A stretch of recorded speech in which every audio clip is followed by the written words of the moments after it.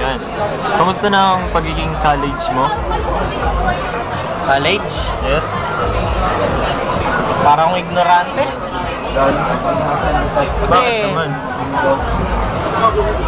Alam mo yung parang artista pagpasok mo. Pagpasok mo, tinitignan ka ng mga tao. Sabi, sabi lang, pogi ko daw eh. Masarap yan. Ha?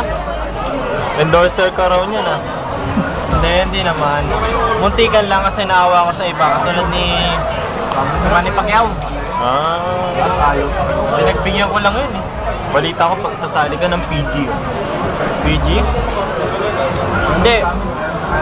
PG, hindi pa, hindi ako para doon. Bakit? Dapat mas mataas ba ng mga...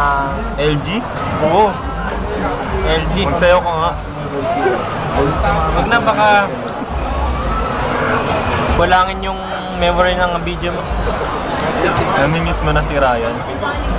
Siyempre, Anong namimiss mo sa kanya? yung ipin niyang maitim dito. Pagbigay ka naman ng message para sa mga kaklase natin.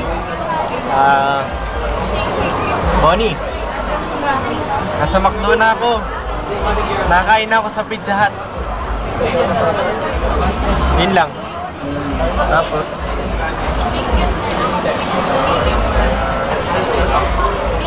Ah pala, shout out na si Angela.